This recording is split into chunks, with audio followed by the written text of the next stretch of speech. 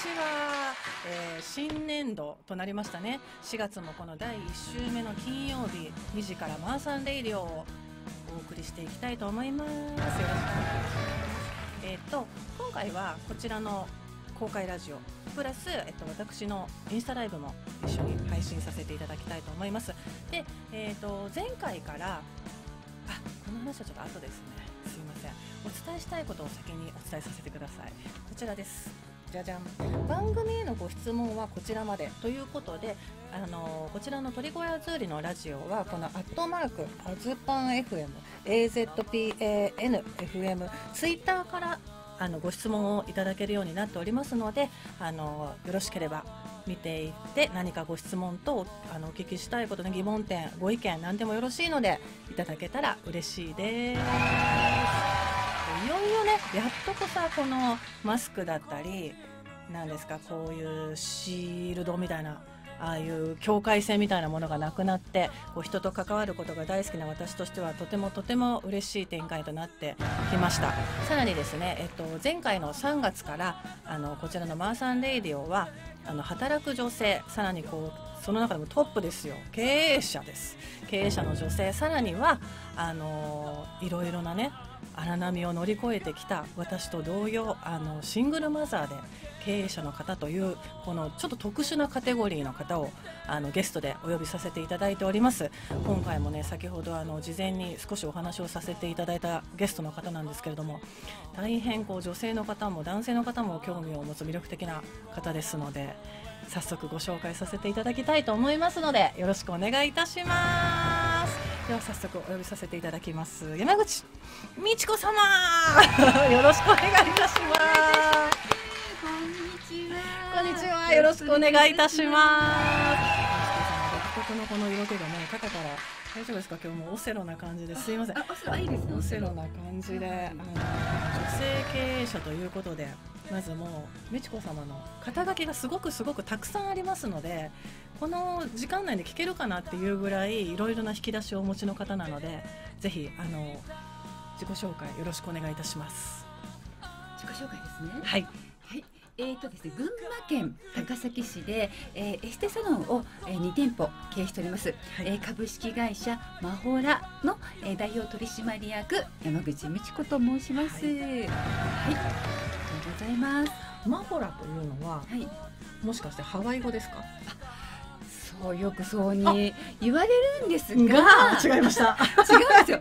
実はですね、あの日本の昔の万葉集とか、日本書紀あるじゃないですか。そこから取った言葉で、マホロバっていう言葉ご存知です。だからよくこうマホロバって聞くことあるかと思うんですけど、それと同じ意味でマホラで、あの意味としては。癒される場所心癒される場所とかうん美しい場所住みやすい場所という意味があるんですよ。なるほど。そこから取ったわけなんです。じゃあそれをこうお店の中でも来ていただいた方はい。にそういったことを提供できるようにと。そうなんです。もうお客様がここで心癒されていただきたいなっていう思いで、承知しはい、あの早速なんですけれどもあのインスタライブを見てくださってる方あの見ていただくようにあの美智子様なんですけれどもおいくつに見えますか？年齢年齢ですね。年齢もうごめんなさいね。これクイズ形式はあの安っぽいコンパみたいな話になってしまいますので あの正解をいただいてよろしいですか。おいくつでしょうか？はい。ギリ49です、そうなんです。アラフィフなんですよ。はい、もう今年8月で50に素晴らしいですね。このエステティシャンということでお綺麗なのかもともとお綺麗なのかも気になるところなんですけれども実際あのこのエステはい。というお仕事になるまではどういった経験経緯でこの今のお仕事になられたんですか？はい。まあ、もともとはですね本当に普通のこう会社員だったわけなんですね。であのまあまあ美容関係の？全くです。きょ正直あまりこう美容関係に興味がない。うんはい。エスも行ったことがあんまり言っていいのいいのかわかんないんですけど、はい、あんまりこうエステに興味のない人間だったんですけれどもあの、まあ、離婚をして、そして、まあ、そのね時のその元夫がですね、えーこう私の体がね魅力的ではないので聞きました。聞きました。あのそれは離婚原因となった内容ですか？まあ、それも含めてなんでしょうかね分かんないですけども、元夫がそう浮気とかあとまあ風俗に通ってたりとかしていて、まあ、それが私の体が魅力的じゃないっていうことを言われたのでちょ直接目を見てそいつは言ったすいませんね元ご主人様に。もう大嫌いですよねそういう男性。はい大嫌いです。なんかこうオオはいブラートに包んでうんうんうん言うならまだしも、うんそういう女性的な外見的なことうんうんに対して面と向かって言う人って、面と向かって言ってきたんですか？そうですね。なんでやっぱもうそれがちょっとトラウマで、でもこうね離婚してこう第二の人生を歩むにしてもあ男性って体なんだって思うじゃないですか。男性って体なんかな？ですか？どうなんかな？まあねそれもやっぱり大事だと思う。そうですね。そうなんですよ。まあでも女性の醍醐味ですよね。それを手とあの時間ともちろんお金うんをこうかけていけばどんどんこう成果というかうん結果が出るので、それってもう年々やっぱりあの対男性だけじゃなく、うんまあもしお子さんがいたら対お子さんに対して、うんあと自分自身に対してはい。のこうスパイスにもなりますし、やってダメなことってないじゃないですか、うん美容に関して。そうなんです。やっぱりこう自分が輝くとどんどんこう自信が持てる。自分にモチベーションが上がってきますし、自分に自信が持てると人生明るくなるんですよね。なので本当そうそこをねこう悔しいという思いがあって、まあ、エステにこう通うようになって、うんまあ、最初バスト専門であの始めたんですけれどもそのバスト専門が群馬県になかったんですよ。うん。あ群馬県ご出身なんですよね。あそう。なんですよ。はい。で群馬県になくて栃木県までこう通っていてでこれ群馬にあったら群馬の女性も救えるじゃないですか。なので46で起業したんです。もう。46というとはい。正直まだ4年？ん？3年前。そうもう4年経ってない。もう3年ちょっとで3年半くらい。コロコロナと同時に始めたような感じですすよね。ごいですね。その専門サロンというのはどこかでこうご自身が行かれたりその知識を学んではい。から始めたんですか？そうですね、まあ、そこの入り口のこう栃木のサロンさんからのご紹介だったんですけどもあのミラクルバストアカデミはい。ーというアカデミーがありまして、でそこでこう学んで技術を習得して。はい。なのであの本当こうただの会社員だった人間にとって経営というこうんうんうん。う第一歩ってすごく勇気があって怖かったんうんですけれどもね、もしこうやって失敗すると子供育てられないじゃないですか。すごく怖かったんですけれどもそのアカデミーの先生方が背中を押してくださってそこでこう一歩を踏み出せて今の私がいるというところですね。なんですごく、うん。リアルな話こう一番気になるのがもともとこう会社員で働かれていると毎月決まったお給料があるじゃゃないですか。はい。でそれに対するやっぱりこう絶対的な安心感というものがありますよね。それに対してこう経営に回るともう0か100かの世界になってくると思うんですね。でそれがもちろんこうスタートしてすぐに100ってならないと思うんですよ。その中でこうご自身がこうお子さんがいらしてもう命を守らないといけない立場じゃないですか、はい。それに対する何かこう賞賛があって始めたんですか？それとももうかなり飛び込んだ感じだったんですか？えっとですねあのやっぱり最初怖かったので、はい。会社員勤めをしながら平日の夜とうん。土日だけを、まあ、エステ。なので、まあ、昼間は会社員夜と土日はエステということでもう本当ずっと働いてる状態ででもそれでも副業的な収入が割とこう会社員の収入よりも上回ったんですね。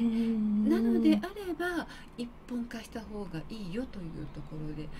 でも怖いです。本当に。本当ですか？はい怖かったですね。だってもうすでに2店舗。あ三？2店舗されてますよね？二店舗ですはい。そうなんですよ。でまたこの1店舗目がこのバスト専門はい。のサロンで2店舗目がこっち面白いんですよねご説明お願いします。はい、2店舗目がですね、えー女性専用のバストではなくて、えートランスジェンダーとかメンズも、えー含めたオールジェンダー向けの、えーサロンにしております。ドドン。ダドン。男性はいはおっぱいじゃないですよね。あでも男性もおっぱいやる方もいらっしゃいます。はい、あのなんでしょう。大きくするというよりは、はい、あの大胸筋あのそれこそあのボディービルダーさんなんかも鍛えていらっしゃるんですけども鍛えるだけでガチガチな筋肉なんですよ。そこで、まあ、あの施設でこうなんていうのか疑似生体電流という電流流していくんですね。そうするとしなやかな筋肉やっぱ体って緩めることによって立体的な美しいボディになりますのでその立体的なボディを作るっていうねはいこともやっております。すごいです。なんかあのやはりこうエステサロンっていうのは女性専門のところが多くてその中でこのトランスジェンダー男性の方も来ていいよってなった時にいろいろなこうハードルがあるじゃないですか、はい、例えば他の女性の方に対してはどういったふうにその辺はこうカバーされたんですか？こうお時間を分けるとかですか？あいやもう同じ時間とかでも受け入れてもこのお店は、はい、トランスジェンダーも受け入れてますよメンズも受け入れてますよということも前提でお客様いらっしゃってますので特にそういったまあ意識を持ってる方がやっぱり女性でもいらしてくださってますかね。こう経営されてる中で何か正直こうちょっと変わったお客さんとかいらっしゃいますか？変わった？あでもそういうなんだとか。変わったというのがそのやっぱり自分がのえっと、常識価値観から見て違う人を変わったという表現をしてしまうと思うので、それもなんて言うんでしょう。相手の個性なので、はい、個性として受け入れるってことですよね。だから変わった器がでかい。ドドン。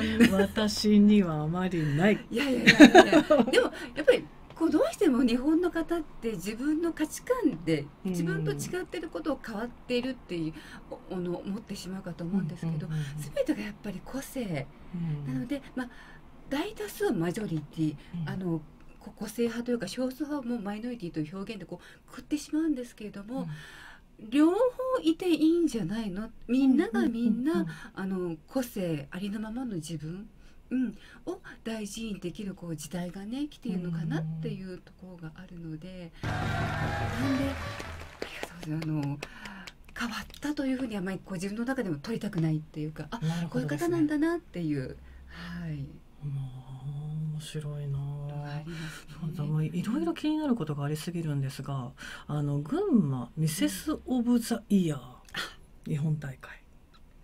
こちらはもう何かもう聞くからにして賞を取ったなっていう 感じがしますがどういったことでしょう？かございます。あのミセス・オブ・ザ・イヤーというあのオーガナイザーの西村紗子さんがいらっしゃるんですけども、えー、紗子さんが、えー、外見だけの美ではなくて、内面の美しさを表現できるコンテストということで立ち上げたものなんですけれども、えー、そこで、まあ、SDGs に、はい、あのこう絡めたものなんですが、まあ、パートナーシップをね、えー、育てようとか大事にしようとかあとそうですねやっぱりトランスジェンダーとかそういった方も受け入れるというこうコンテストを行っておりましてで、まあ、そこでまず群馬大会に出場させていただきましてでそこで特別賞という賞をいただき初出場でですか？あでも群馬大会初めてのあの開催だったんですよ。でもその初の大会でもう賞を取ってきてしまったんですね。ありがたいことに。それはこうその大会の存在自体は何でお知りになったんですか？は知人のあの紹介で。私とてもじゃないけど人前に出るのが苦手でこうやって人前で話すことももう滑舌も本当悪いので、うん、そんな感じはしないですけどね肩見せて口は出さないけど傘は出すねみたいな感じですね。肩は出し、はい。はい、なんか私もなんか出していこう時間。あのぜひぜひ。なるほどね。そういう大会もやはりこう自分の自信につながることだと思うので、私はすごいいいと思うんですよ。なんかこう今 SNS ってどうしても皆さんにすごく身近な世界になってるじゃないですか。なんか私自身 SNS を始めたのが、えっと、大学の時だったんですね。でその時はまだブログっていう時代でそこからもっと身近にインスタグラムだったり今で言ったら TikTok ってなってこう旗から自分を見れるようになるってすごい大きいことだと思うんですよ。やっぱり自分で自分の姿を鏡で見ているだけだと本当にあ素晴らしいお写真これは大会の時ですか？それこれ群馬大会のはいちょっとあの群馬県庁で、はいウォーキングした時のお写真ですね。すごいですね。ゴージャスに。もう肩だし。肩だし。うん、肩も入れてますね。はい。やっぱ姿勢が大事ですのいでや。本当そうです。姿勢大事です。そうなんですよ。はい、なんか今こう今ね私のインスタライブ見てくださってる方もこういう感じでスマホ見てる人は絶対ダメ本当に笑顔になりたいお金稼ぎたいハッピーになりたい痩せたい綺麗になりたいこれ全部につながるのは姿勢です姿勢です。姿勢姿勢を正すだけで全部が上向きになってそれこそバストも上がるし胸が上がると気分も上がるので女性ってはい。だから本当にいいお仕事をされてますよね。またトランスジェンダーっていうのが初めてなので、はい私自身聞くのが。あ、そうですよね。胸のケア。アを男性もされてても男に負けてらんねえなっていう話ですよね。これ。そうですね。あ、すみません、話途中です。それでこう。はたあの SNS をただアカウントだけ持ってあの見る用の方ももちろんいいんですよ。何かをこう発信してる人の姿をこう吸収するだけでもいいし例えば自分が食べたもの一つこうアップしてそれに「いいね」がつくっていうことっていいわゆるその SNS って承認欲求の塊だと思うんですね。でもその承認欲求ってちょっとネガティブに捉えられがちなんですけどその承認欲求ってポジティブなんですよ。それによってマイナスってないんですよ。それのために自分が嘘ついたり無理することってそれって努力なんですよ。だからどんどんみんなやってほしいなって私は思っていることであってなんか SNS をねなんか自撮りとかアップしてる子たちってこうネガティブに捉えられがちな意見とかたまにいただくんですけどどんどんやったらいいと思う私は。どんどん見て自分自身ダメなコンプレックスっていろいろ見えた方がいいのでコンプレックスって見ないふりしてもあの虫歯と一緒で治んないから。治さないと治んないから。はい、なのでそのさっきお話を聞いててなるほどなと思ったのがこうもともとはそういうご自身のコンプレックスから全てが始まったって言ってどういったコンプレックスを具体的に終わりだったんですか？この美貌で。あのやっぱりあのお胸お胸お胸がどうなってたんですか？あの、まあ、子供が2人いるんですけどもやっぱり出産とともにこう寂しいお胸にこうあもうジャンプスキーみたいな滑走になってきまね。そうですね。わかります。私も経験済みです。はい。なるほど。そうなんです。でもやっぱりこうお胸がないとこうね恋愛もできないのかなといったところでまずお胸かなと思ってそこに飛び込んだわけなんですね。もともと大きいですよねきっと。そんなことはないんですよ。大きくされたんですか？あそうですうそうですね。はいこのミラクル。夢がありますね。そうなんですよ。はい。それは例えばもともともちろんあの全然ない方もいらっしゃるじゃないですか。そういった方でも希望はあるんですか？そうですね。お面って育つもう何歳からでも育っていきますので。育乳、はいです。やっぱりあの育ちやすい体作りとかお胸が小さい方ってそういう理由があるんですよね。まああの幼少期あ幼少期でないあの思春期の時のうんあの過ごし方ですとか、まあ、あの睡眠が取らないうん。栄養、ダイエットばっかりして栄養を取らないとか、うん。ともう乳腺が育っていないっていうところがあるんですけれども、まあ、そこにコラーゲン生成するお体にしていくって、まあ、ちょっと専門的なお話になっちゃうんですけれども、育っていくんです。それはこうもちろんサロンに通ったりすることでできることも多々あると思うんですが、はい。普段のこのデイリーケアとして何かもしあれば教えてもらえないですか、そうですね。あのやはりこう今ここにもありますお水ですね。はい。飲まないのよ私ね、あのー芸能人の方でもよくお水2リットル飲んでますって方いらっしゃるじゃないですか。本当にやっぱ水っていいんですねそうですね。体のこの60%が70%お水でできてるじゃないですか。まあできれば体重かける 40cc がベストと言われてますので、体重かける？40cc 例えば体重標準が50キロよく言われるじゃないですか。はい50キロかける40で2000になりますよね。はいなので2000なので2リットルがいい。まあ体重30キロの方でしたら3412まあ1 1.2リットルとか。私じゃあ2リットルぐらい飲まないとダメだだとねこう細胞が元気になっていくとコラーゲンが作られやすくなるんですね。水飲むだけで綺麗になるっていうけどなかなか飲めないんですよねもともとお水好きですか？私全然飲まなかったんえですよ。どうやったら飲めるようになるんですか？本当に無理なんですけどわかります。本当カップ一杯も苦しいですよね。ペットボトルって私、はい多分4日ぐらいかかると思いますこの500ミリリットルでもわかります。本当そうでした。でも体のためと思ってコップ一杯から頑張ってそこ2杯になって500になってっていう形で私飲めるようになると逆にレストランとか行ってもドリンクはって言われてえお水でいいんだけどって思うようになるくらいお水好きになります。なるほど、はい、胸にも関係してくるんですねお水を飲む。でもそれだったらちょっと手軽にねうんうん。始めれることなのではい。やってみたいと思います。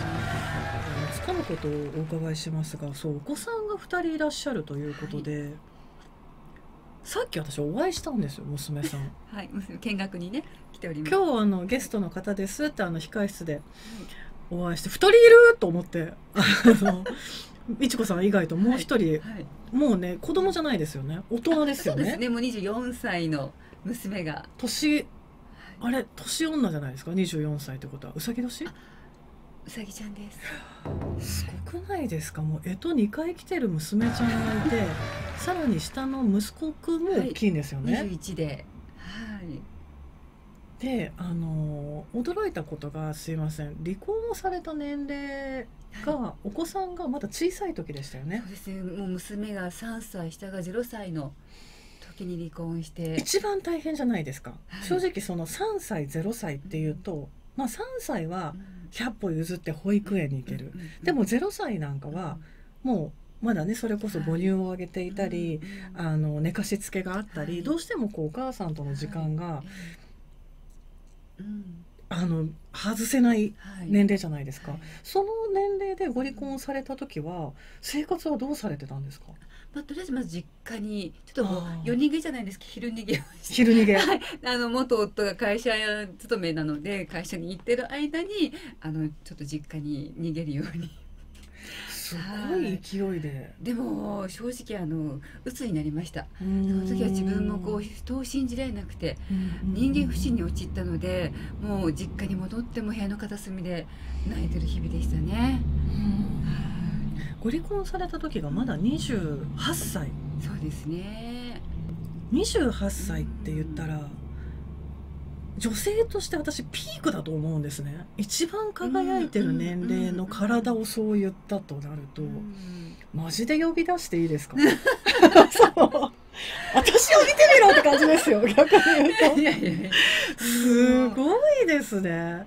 じゃあそこからまずお仕事に就くまでにはどれぐらいの期間がそうです。もうすぐお仕事を始められたんですか？始めてないですね、まあ、それか。でも1年くらい経ってからなのかな、うん、離婚されて初のお仕事は何だったんですか？初の仕事はあのー派遣という形で、消防署があるじゃないですか。消防局の中でこうパパソコンを打つお仕事をがあったので派遣として、はい、そこから始めましたね。全然違う業種ですねそうですそうです。あの本当もともと事務をやってたので、まあ、パソコン系のお仕事を。はい。うんしかもこうご結婚されてた間は専業主婦だったんですよそうねなんです。専業主婦で3歳差のお子さんが2人。うんしかも下は男の子って私あの男の子をこう育てたことがないんですけどやはり違いますか？女の子男の子は。そうですね男の子は繊細ですね。まあうち上の子がね男の子っぽいから。あいますけど大丈夫あですか？大丈夫です。はい。な娘で。はい。繊細はい。繊細ですね。全然違うんですね。でも今こう強くたくましくこう育ててくれた母の背中を見て絶対に強く育ちますよね。だといいけどこうね息子はちょっと今引きこもりの状態なので、まだまだ手がかかりますけれどもね、はい。こう人生のこう新ママの先輩として私自身も子供がえっと1歳とえっと4歳の時にはい。離婚をしたんです。ええなのであちょっと3言うならば歳差で。ちょっと近いんですね。はい。でまだ今のところそんな大きなトラブルというか子育てに関してもあと新ママであることに対しても何かこう抱え込むような悩みってないんですがきっとこれから出てくると思うんですね。今娘が、えー、と上の子が、えー、と小学校4年生。はい。で下の子が今週小学校1年生になったんですね。おめでとうございます。ありがとうございます。昨日入学式でした。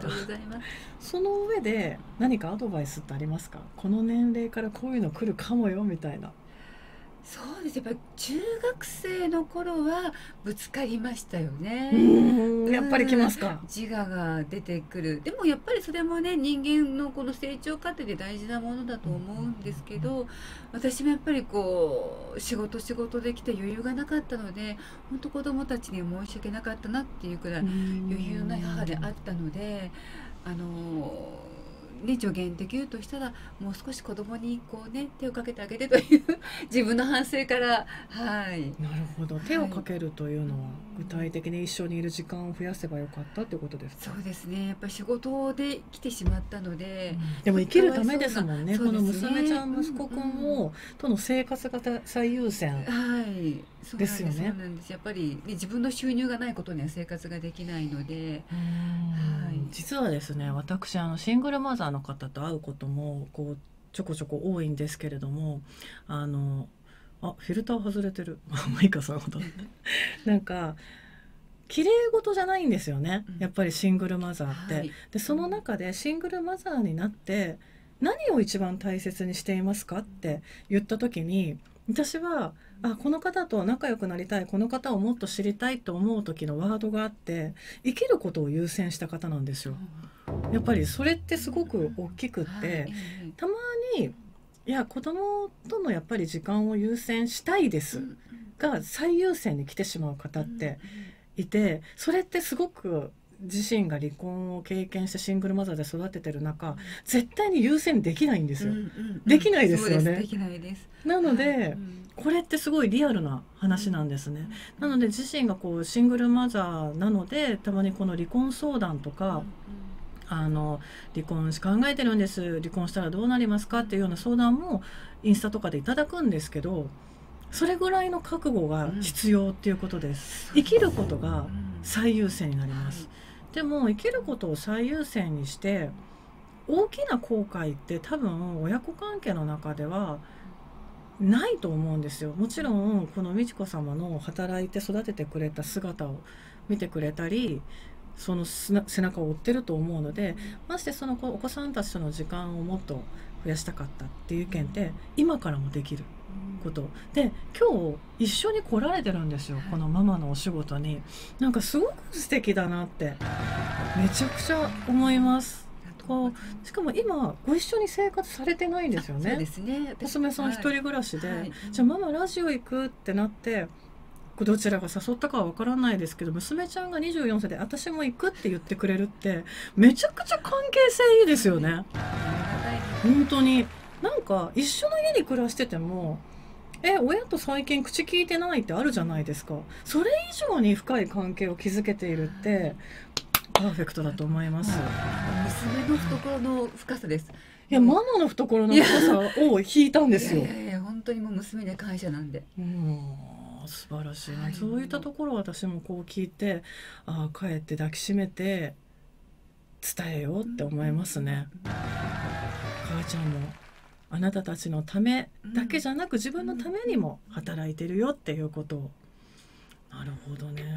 経営者。そうこれでまたいろいろなままさかのねまさかのあの消防署の事務もされてたっていうことで からの経営者になった時に何か苦戦したこと悩んだことってありましたか？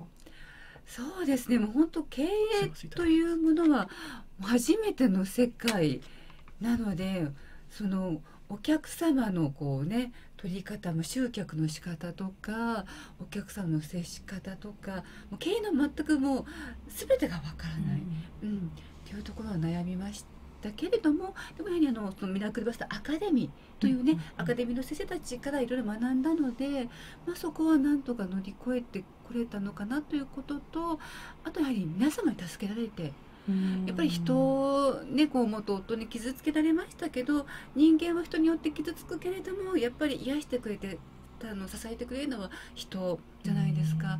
なんでそういったご縁を大事にしてあの行けば必ず道は開ける、うん、うん、と思いますので。本当にこう人と人との関係性が結局全てなんだなって私、思うんですよね、お客様に対する接客度、接客もそうですけれども、実際に、えっと、ご自身がお客様とあの接する機会って今もあるんですか？経営者はい。あの施術には私が入ってますので。実際されるんですね。あそうなんですよ。経はい。営もされて施術もされる。そうまあ施術が好きっていうのもありますけどね。はい。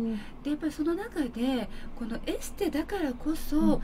悩みを言える。友達には言えないけどここなら言えるって悩みをこうご相談いただくことがすごく多いんですね。でそこで本当こう気づいたことが自分が辛い経験をしてきたからこそお客様の悩みに寄り添えることができるんですよね。自分が辛い経験していなかったらお客様の悩みが「あそうなんですね」って他人事になってしまう。けれども自分の過去があるからこそ寄り添えるんだっていうところでそこで私初めて自己承認ができたんですよ。今今までこうなんで自分ばっかり辛い思いをしてって思ってきたんですけどそこで自己承認ができたからこそあこの仕事をつけてよかったなって。素晴らしい素敵ですね。いえいえ。そうなんですよ。じゃあ自身がお客様に対して癒しとかこはい。うプラスな気持ちを与えるだけではなくまたお客様と話すことはいで自分自身の幸せにもつながったってことですよね。はい。わかります。なんか私はあの本業がアクセサリーデザイナーで今19年19年ですね。あの続けさせてもらってるんですけどこうお客様と会う機会があるとそのお客様のヒストリーをはい。お聞きするんですよ。はい。本当他人事じゃなく、うんうんそのそこらの友達よりも深い関係になったりとかして、はい。ちょうどこんんの間あの電車に乗る時にあの声掛けくださった方がいらして普段インスタを見てくださってる方だったんですね。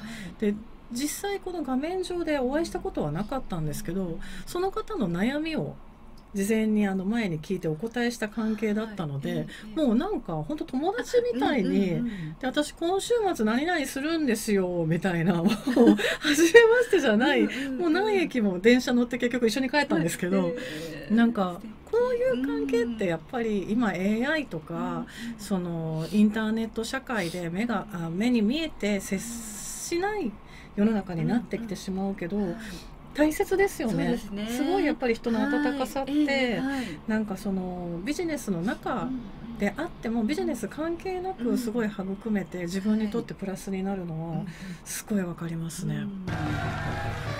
経営者ママとして世の女性に対してそういった形でお仕事をされているということなんですけれども今後今20代いろんな経験をされたじゃないですか。20代30代そこから40代になって経営者になってこれから、まあ、あと数ヶ月ですよ。あと4ヶ月ぐらいで50 50に。なってしまいますね。50人わーってとこでしょうか。どういった？50歳になっていきたいですか、50代に。そうですね。あの、まあ、すごくこうおこがましいことではあるんですけれどもあの私のこうサロンとか私に関わることであのたくさんの方々が笑顔になってい,、うんっていただきたいっていう、まあ、そのためにこのねトランスジェンダーとかも含めたサロンをしているんですけれどもあの性的マイノリティ、まあ、はい。LGBTQ という言葉ご存知かと思うんですけれども、そういった方だけではなくてあのやはり、ね、うちの息子みたいに引きこもりですとか、あとは引きこもりを持つ親も苦しいんですよ。うんそういった方ですとかもうみんなこう苦しみ大なり小なり抱えてらっしゃるので、そういった方々がありのままで生きやすくなる社会づくりにちょっと貢献できたら嬉しいなという思いでお仕事を続けていきたいと思っております。なるほど。いちこさんは SNS はされてますよね。まあインスタグラムとかフはいェイスブックで、はい、でもちょっとどちらがメインですか？メイン。まあインスタと言いたいところなんですけれども、ちょっとそういったねインスタライブも苦手だったりしますなんでのでですか？なんかこういうリアルなところ、やっぱりインスタってそれこそあのはしょり投稿じゃないですか。輝かしい姿、こうなりたいであろう姿を皆さん載せることが多いと思うんですけど、こういう裏側ってぜひ聞きたいなと思います。でもその裏側って私は正直ポスト投稿に載せることではないって私は思ってるんですよ。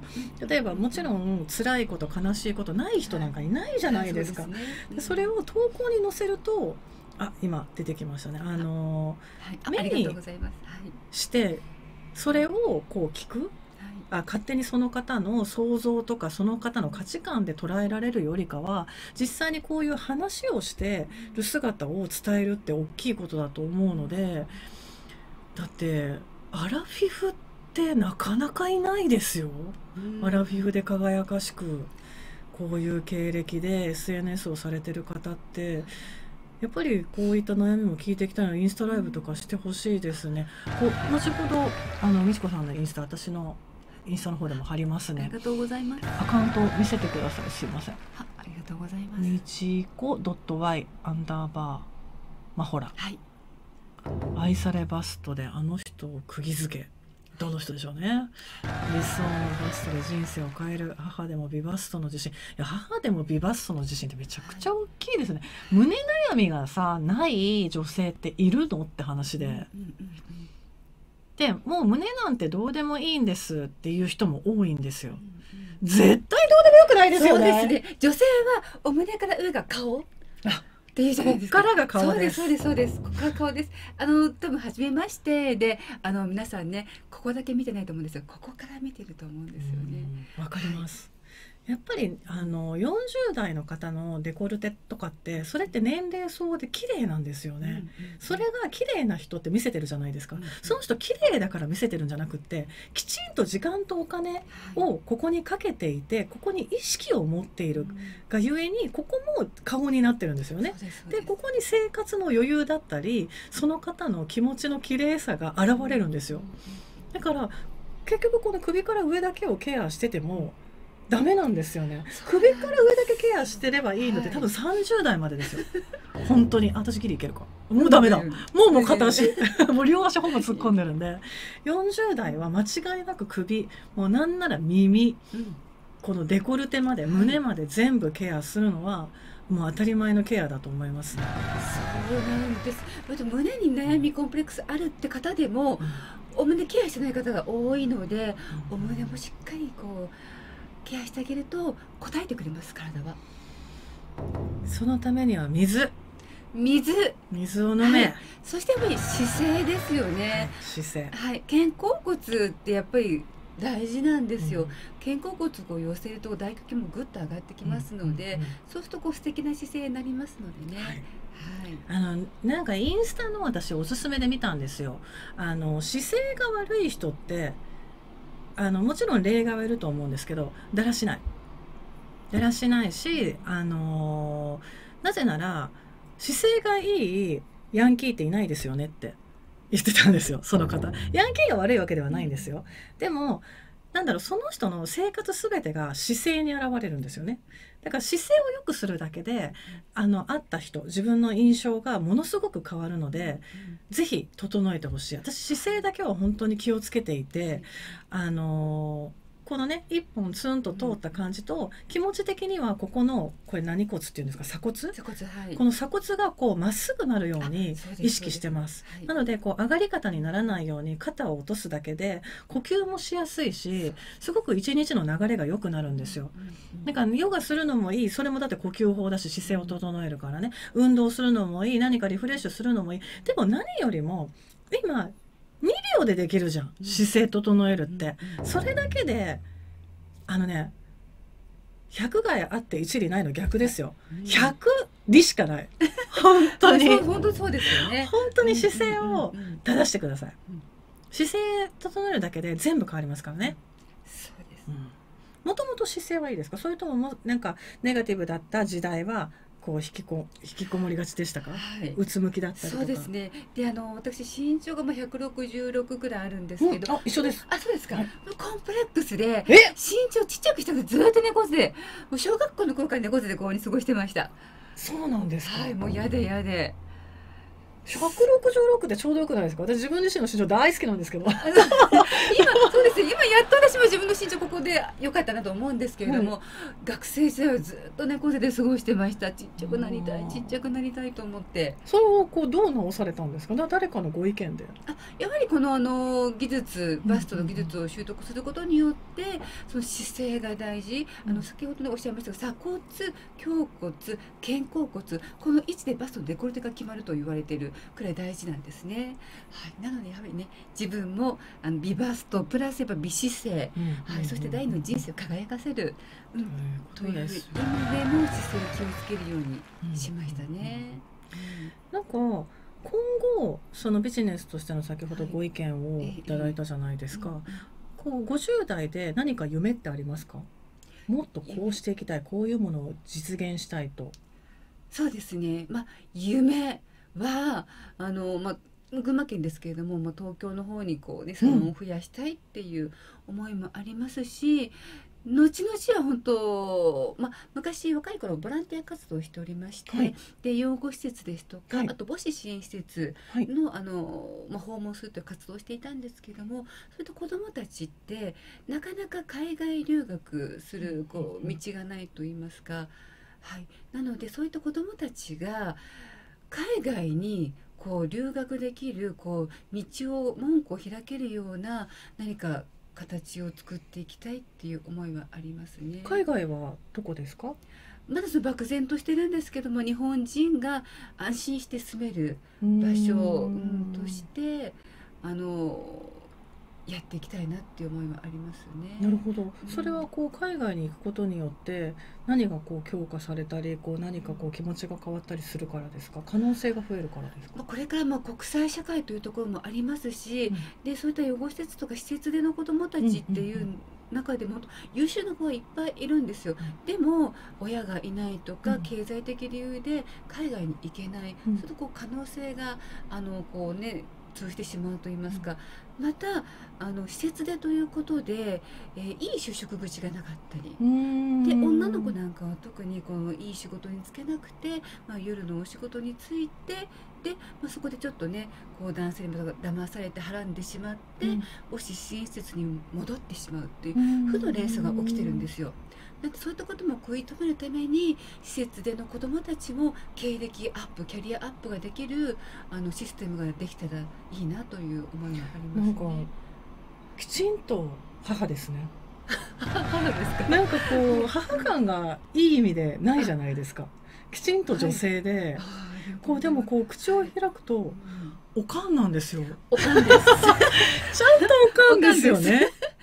はい、なんかこう色っぽいじゃないですか。あそうですか。めちゃくちゃ色っぽい。私に本当にない部分を全面的に会った瞬間からブワーって出されてきたので。とんでもございません。このおかんっていうお皿と、はい、この女性っていうお皿って両立するんですね。あそうですか、はい、ありがとうございます。昔から色っぽいんですか？いや私本当にまあ今すぐ美に興味がなかったので。こんな感じをメリトモという名の？というっていう設定？いやいや 本当に本当に。はい。ですね。楽しいですね。なんでいくつからと皆さん輝けますよ。なるほど。意識次第で。輝けるって、色気。なんか今日初めてお会いして印象的にしかもすごくご丁寧なあの方で事前にお会いする前にあのメッセージをくださったんです。今日あの一緒にお仕事させていただくとい。うあのご私の方からご連絡しないといけない立場なのにご連絡くださってでかつこう初対面での印象がとても話し方が優しい。であのゆっくり穏やかに喋られますし相手に対してその癒しの気持ちが大きいので本当に見習って？私めっちゃめちゃ口なんだよ。いや、めちゃめちゃ関西弁なんで。いや、それ素敵だと思います。いや、あかんですよ。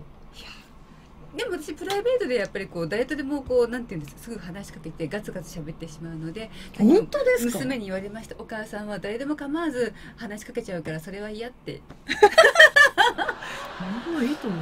それでやったらもう私乱射のように本当話しかけるのでもう今日バス待ってても隣のおばちゃんと大体10分ぐらい喋ってるので話しちゃいますよね。話しますよね。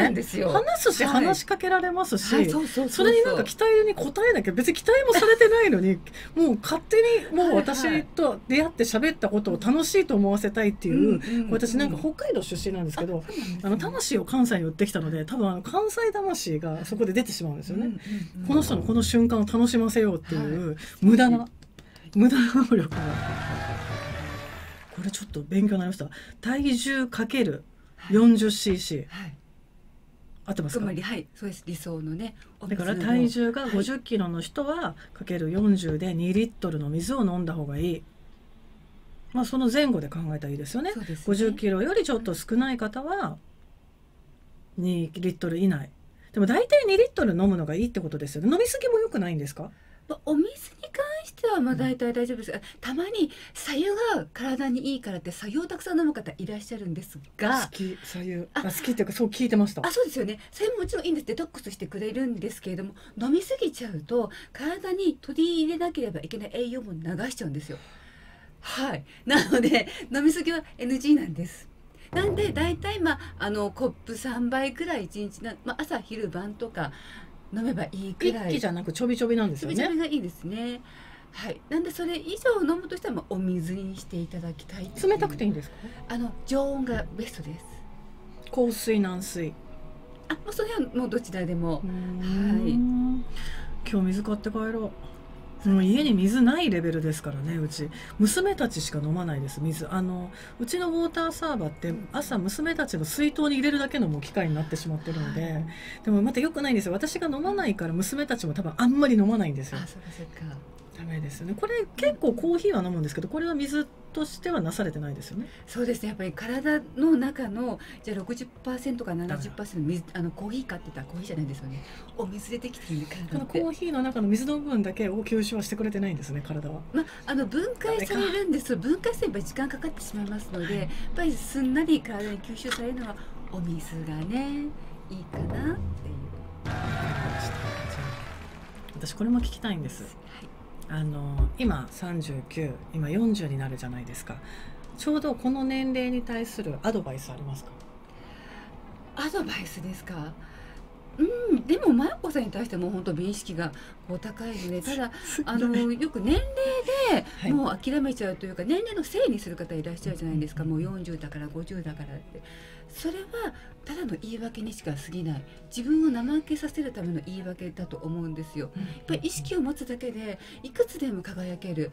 ももちろんこうねあの年齢とともにこうシワとかは出てきますけれどもでも輝くことはいくらでもできるので自分の輝くなんていうの姿勢とか生き方、うん。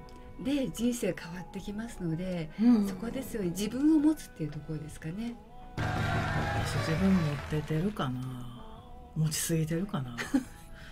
素敵ですよ。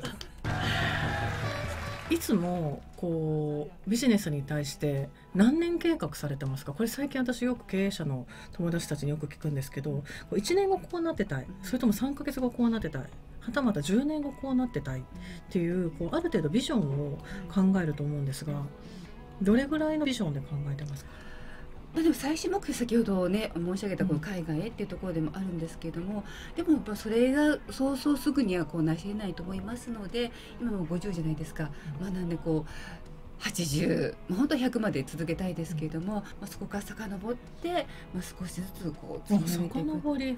そうです。逆に本当逆算して計画って立てた方がいいので3ヶ月後1年後とかではなくてじゃあ30年後40年後ん？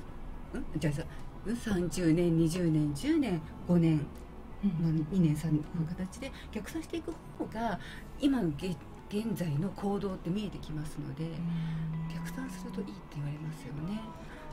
まああっという間でもう実はあと2分ぐらいなんですけど最後にこの質問をさせてください、はい。今の悩みを教えてください。今の悩みですか、うん。今リアルな悩み。リアルな悩みはスタッフ募集中です。あスタッフ募集中です、はい。それは群馬限定ですか？そうです。今は現在群馬でやっておりますので、はい。はい、あのぜひ私と一緒に働いて楽しく、はい。はい、そしてあのースタッフも家族として大切にいたしますので、うん。輝かせることができます。スタッフも。この募集事項はインスタか何かに書かれていますか？はい、まあ載せてもおりますので、はい。じゃあはい皆さんそちらも確認してください。どこに書かれてるかな？ああとここにもねはい。スタッフ募集中、上のこの丸の部分に入ってますね、はい、そこ押してください、私の力になってる方、なってくれるくださるくださる方お待ちしております。スタッフ募集中です。具体的に何名ぐらい募集中ですか？まあ2名いただけたら嬉しいおですね。はい、お待ちしてます。はい、でも高崎駅から、はいえー徒歩まあ5、6分なので、はい、お待ちしております。ぜひ皆様みちこさんと一緒に働きたいという方かなりあの楽しめるはい現場なのではないかなと思います。楽しいですそしてあなた自身もこう輝けますだってちょっと社員割とかあるんじゃない？ありますよ。ぜひぜひ。はい。社員まずはね施術してもらって、その施術の良さを、はいそうです多分スタッフの方が分かったらうんもうきっとのめり込むんじゃないかなってはい。思います、もう1分です。何かお伝えしたいことありますか？えっと本当に何歳からでも輝けます。はい。はい自分のために生きてください。もちろん子供も大切です、はい。ですけれどもお母さんが輝くと子供も楽しく生きられますので、まず自分を大事にしてください。ご自愛くださいってところですかね。ご自愛くだい。さい。はい。自分ご自を愛して愛ください。いいですね。自分を愛してあげてください、はい。はいもう私みたいに自分を愛しすぎてるのもどうかと思いますけれども今回もこういった素晴らしい、えー、とシングルマザー女性経営者に来ていただきました。皆さんもこう何かをやり始めたいと思った時がチャンスだったりこれを聞いた今がきっかけだったりすると思うのでまたこういったお話を皆さんに提供できたらと思います。どうでしょうちょっと締めが早すぎましたか？大丈夫ですか？今何秒前なんだろう？あもう30秒前です大丈夫です。すいません。結局私ごめんなさい。インスタの方も全然見もうみちこ様をずっと見続けてしまいまして 全然見れてなかったんですけど申し訳ございませんでした。今後ちょっと改善していきます。申し訳ございません。そうか。シングルマザーで経営者になる方って意外と多いんですよね。そうですね。逆にその時間がないからこそそういった道を選びますよね。そうです。はい、では今回も皆様ありがとうございました。次回は、えー、と5月の1週目の金曜日よろしくお願いします。ありがとうございます。みちこ様でした。